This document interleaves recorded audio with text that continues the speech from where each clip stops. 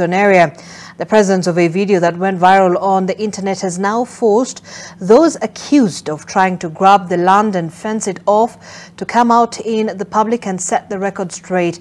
As Nina Shaban reports, the Directorate of Criminal Investigations has come out to defend the family accused of attempting to grab the parcel of land.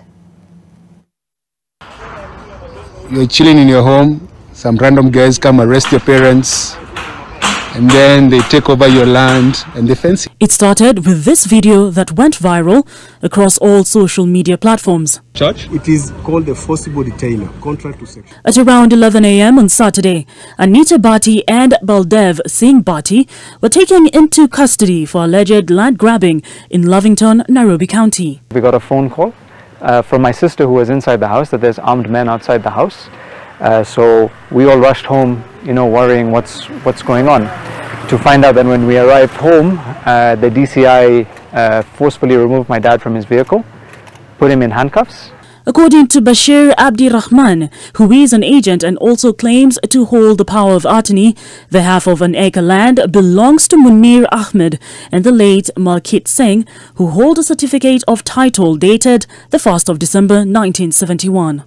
Early this year to bring you guys to what is uh, in hand and the current situation is that early this year Munir and the late's wife visited uh, uh, Nairobi and actually they needed to develop the property and to look into it. Once they came to their gate they could not access the gate. The gate was actually locked from inside and uh, they were unable to actually access their property. When we went there to the other gate to knock to our neighbors, they refused to open.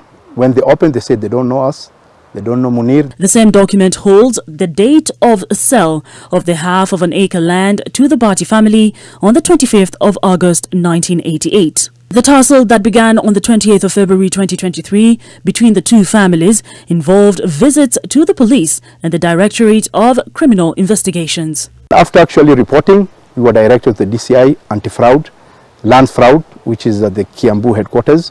We went there, Munir gave the statement, the late's widow gave the statement, I gave the statement, the, the land registrar gave the statement. Everything was validated and it was confirmed that the land belongs to Munir. A letter released by the DCI confirms that the suspect in matter, being the Bhatti family, has not provided the investigators with any ownership documents relating to the land dispute. Ms. and Mrs. Bhatti were released from police custody after paying a cash bill worth 50,000 shillings each. The two are expected in court on Monday. Nina Shaban, NTV. All right, and that report by Nina Shaban takes us to our first break here on NTV Weekend Edition. We still have a lot we've lined up for you on this broadcast. Stay with us. The hashtag is NTV Weekend Edition.